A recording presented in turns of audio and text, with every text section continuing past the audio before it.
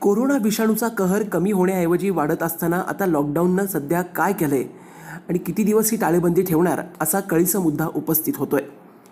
मात्र अशा वेळी सरकारी कार्यालय आणि गरजेच्या सेवा सुरू करण्यावरती कोणाचाही फोकस नसल्याचं दिसतंय. पश्चिम बंगाल राज्यात एक जूनपासून मंदिर आणि मस्जिदसह सर्व प्रार्थनास्थळं सुरू करण्याचा निर्णय घेण्यात आलाय. मुख्यमंत्री ममता बॅनर्जींनी म्हटलंय की एक जूनपासून सर्व प्रार्थनास्थळं सुरू ठेवण्यास परवानगी देण्यात येते आहे तसंच आठ जूनपासून खाजगी कार्यालयं शंभर टक्के उपस्थितीसह सुरू करण्यात येतील. एक जूनपासून चहा आणि ज्यूटपासून बनवलेल्या उद्योगांनाही सुरू करण्यास परवानगी दिली जाणार आहे. धार्मिक स्थळांवरची नियमावली जारी करण्यात येणार आहे. एकावेळी फक्त दहा भाविकांना एकत्र येण्याचा महत्त्वपूर्ण निर्णय सरकारकडून करण्यात आला आहे ब्युरो रिपोर्ट तिचा जागर न्यूज.